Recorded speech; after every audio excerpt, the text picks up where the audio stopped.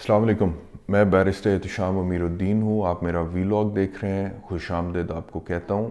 آج صبح میرے دن کا آغاز تقریباً کوئی ساڑھے سات بجے ہوا تھا، اس وقت ساڑھے گیارہ بج رہے ہیں امریکہ میں and today was one of the days when I had a morning walk کبھی کسی دن نجی یا کام کی مصروفیت کی وجہ سے اگر شام میں میں جم نہ جاؤں یا ایکسرسائز نہ کروں، تو میری کوشش ہوتی ہے کہ اگلے دن صبح اٹھتے ساتھ ہی میں مارننگ واک آدھے پونے گھنٹے کی کروں۔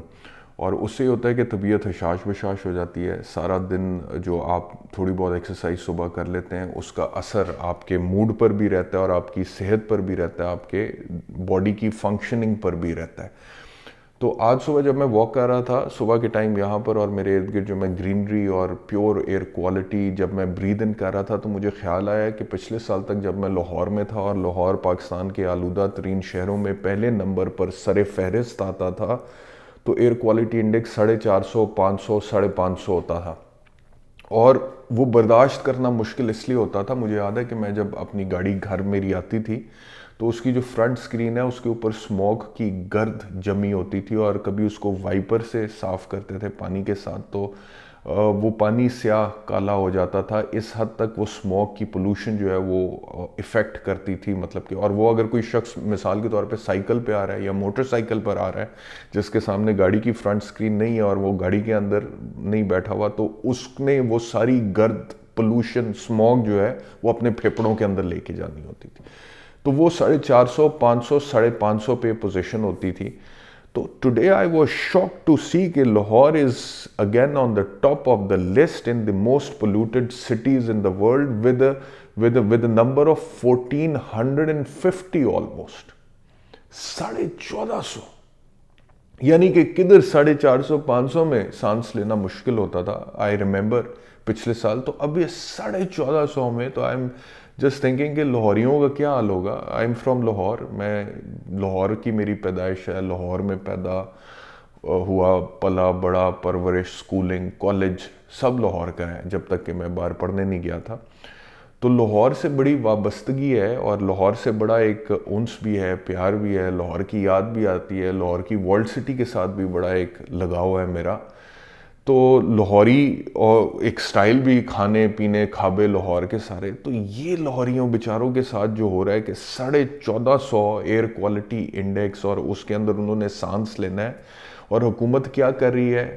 حکومت کی کیا پلاننگ ہے؟ کسی کو کچھ نہیں پتا۔ مطلب کہ اب وہ، میں سن رہا تھا تھوڑی دیر پہلے کہ ایک حکومتی رکن جو ہے وہ جس کے پاس یہ ہے ڈپارٹمنٹ قائمہ کمیٹی کے ممبر ہیں وہ یہ صاحب فرما رہے تھے کہ ہم نے آرٹیکل نائن اے انکارپوریٹ کیا ہے آئین میں اور کلین اور سسٹینیبل انوائرمنٹ ہم نے دیا ہے لوگوں کو۔ وہ بھائی بھاڑ میں گیا، آپ کی تھیری ساری کی ساری جو آپ کہتے ہیں ہم نے کیا دیا ہے تم نے، جو تھیری میں سب کچھ پہلے تھا وہ نہیں مل رہا۔ روٹی، کپڑا، مکان، تعلیم، صحت، انصاف، عوام کو نہیں مل رہا۔ جس طرح سے ملنا چاہیے، جو ان کا بنیادی حق ہے۔ تو اس لسٹ میں آپ نے ایک آرٹیکل ایڈ کر دیا ہے، نائن اے۔ اور آپ کہتے ہیں کہ ہم نے دیا ہے۔ ساڑھے چودہ سو ایئر کوالٹی انڈیکس میں لاہوری اس وقت سانس لے رہے ہیں۔ بچے بیمار ہو رہے ہیں، بوڑھے بیمار ہو رہے ہیں۔ ایکسپرٹ سے کہہ رہے ہیں کہ پاکستان میں سموک کی وجہ سے اوورال جو لائف سپین ہے وہ تین سے ساڑھے تین سو سال کم ہو چکے اور لاہور میں تقریباً سات سال کم ہو چکا ہوا ہے۔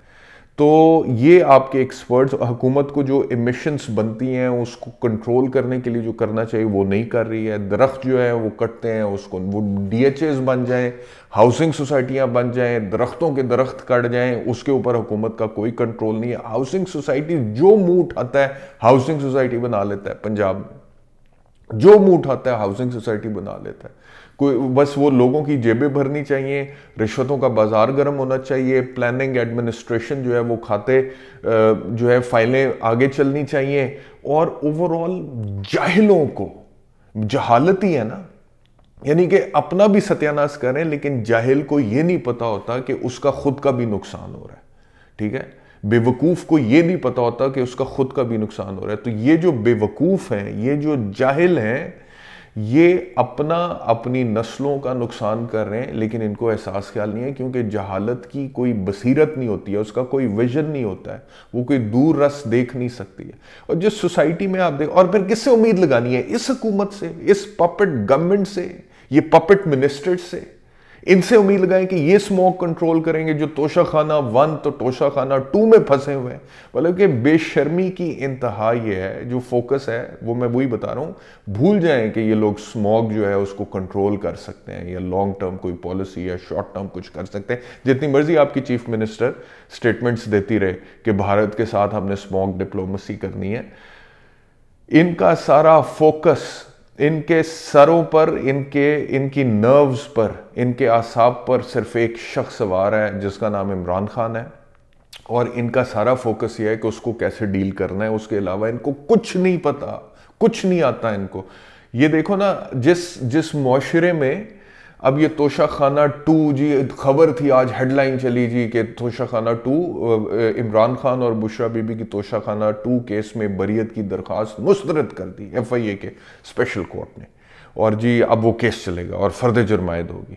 تو جدھر اس طرح مطلب کہ ڈھکوسلے، ڈرامے، جھوٹ، مکر، فریب اکاؤنٹیبلٹی کے نام پہ ہو رہے ہوں۔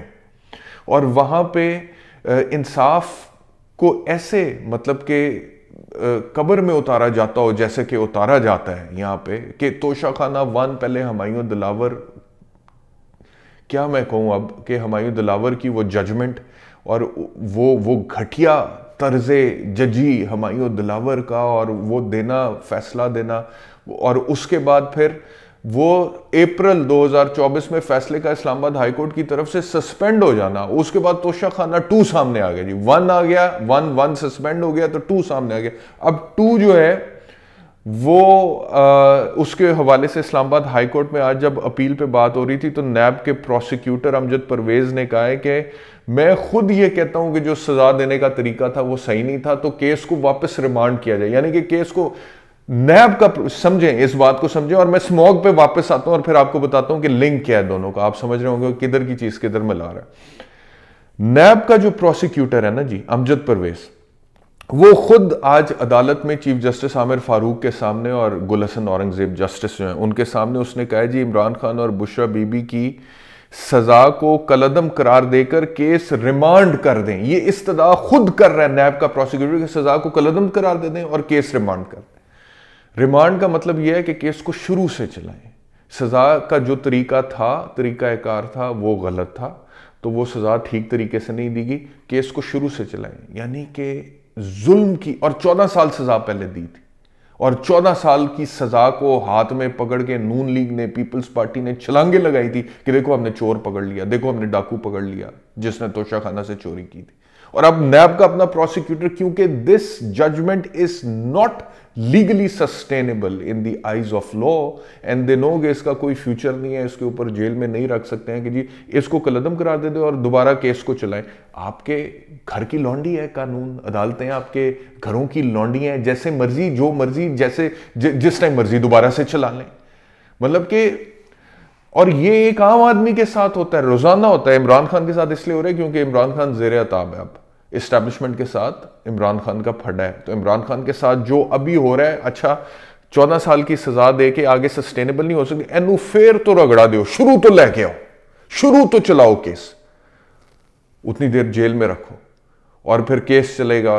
یہ روزانہ آپ کے لیگل سسٹم میں ایک عام آدمی کے ساتھ ہو رہا ہوتا ہے، ٹھیک ہے؟ اور جج صاحبان نے یہ کہا نیب پروسیکیوٹر کی اس بات پہ میاں گل حسن اورنگزیب نے کہا کہ علی ظفر سے، عمران خان کے وکیل سے کہ دو ہی طریقے ہیں۔ ایک تو یہ کہ امجد پرویز جو بات کر رہے ہیں اس کو مان لے یا آپ دوسری استدا یہ کر سکتے ہیں کہ کیس ٹرائل کورٹ میں فرد جرم سے دوبارہ شروع ہو۔ یعنی کہ جج صاحب بھی کنونسڈ ہیں اس بات پہ کہ کیس دوبارہ شروع ہونا چاہیے۔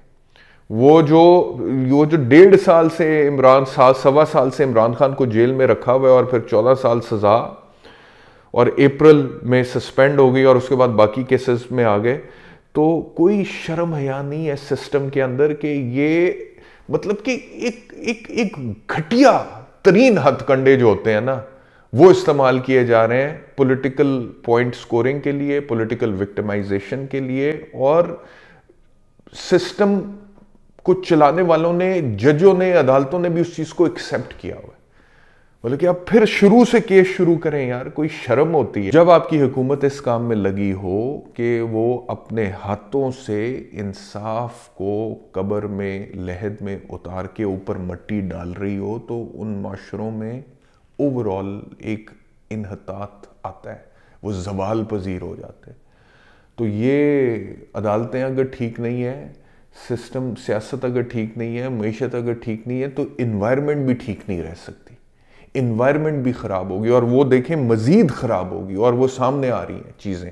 تو جو لوگ ان چیزوں میں لگے ہوئے ہیں، یہ پپٹس یہ پتلے، ان سے آپ ایکسپیکٹ کرتے ہیں کہ اسموک جیسے مسئلے کو یہ حل کر لیں گے۔ اللہ معاف کرے، پانچ سو سے ساڑھے چودہ سو پہ چلا گیا ہے۔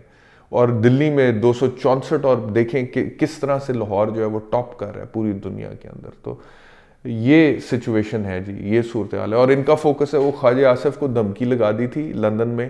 کسی نے کہ جی چھری پر چھری نال تیرے ہوتے حملہ ہو سکتا ہے، وہ بندہ پھڑو کتنے آ گیا ادھر لوگوں کا لائف سپین وہ ایکسپرٹس کہہ رہے ہیں، سات سال کام ہو گیا لاہور کو۔ اچھا اب میں یہ نہیں سپورٹ کرتا کہ لوگ بدتمیزی کریں۔ یقین کریں وہ نواز شریف، مریم نواز، خواجہ آصف، ان لوگوں کی جب ویڈیوز آتی ہیں پی ٹی آئی کے سپورٹرز بدتمیزی کرتے ہیں تو مجھے برا لگتا ہے۔ اور وہ لوگ مطلب کہ ان کی واقعی تربیت جو ہے وہ لگتی ہے کہ یار یہ جاہل ہیں، یہ کس طرح کی حرکتیں کر رہے ہیں۔ اینڈ دس از رانگ یہ یہ نہیں ہونا چاہیے۔ لیکن جو بات سمجھنے کی ان لوگوں کے لیے بھی ہے نا، وہ یہ ہے کہ آپ نے کبھی سوچا ہے میں کل رات کو تھا تاڑڑ کی ایک ویڈیو دیکھ رہا تھا، وہ بندہ گالیاں دے رہا تھا تاڑڑ کو اور وہ واک کر کے اگنور کر کے آگے چلتا چلا جا رہا ہے لنڈن میں، میرے خیال میں کسی جگہ پہ۔ کبھی آپ نے سوچا کہ لوگوں میں اتنی نفرت کیوں ہے؟ لوگوں میں آپ سے اتنی شدید نفرت کیوں پیدا ہو چکی ہوئی ہے کہ وہ آپ کو دیکھتے ہیں، آپ کو گالیاں دیتے ہیں یا آپ کو ہراساں کرتے ہیں۔ غلط کرتے ہیں، نہیں ہونا چاہیے۔ لیکن آپ آپ بھی تو اپنی اداؤں پر ذرا غور کریں۔ ہم اگر عرض کریں گے تو شکایت ہوگی۔ کبھی اپنے گربان میں تو جھانکو کہ کیا آپ نے یہ آن تو نہیں کیا اپنی حرکتوں سے، اپنی منافقت سے؟ بلاول کی منافقت آج بھی۔ پنکی کہتی ہے کہ سیاست عزت کے لیے کی جاتی ہے۔ اور یہاں پر وفاق نہ ہمیں عزت دے رہا ہے، نہ سیاست دے رہا ہے، قانون سازی کی کاپی آخر میں مجھے ملتی ہے۔ اس کو شرم نہیں آتی ہے یہ بات کرتے ہوئے۔ یہ چھبیسویں آئینی ترمیم میں جو آئین کا جنازہ نکالا ہے، اسے نکالنے میں سب سے کلیدی کردار اس کا ہے، بلاول کا ہے۔ اور سب سے آگے آگے یہ تھا، وہ آئینی ترمیم پکڑ کے ہر رات بھی شاید پہنچ جاتا تھا مولانا فضل الرحمان صاحب کے پاس۔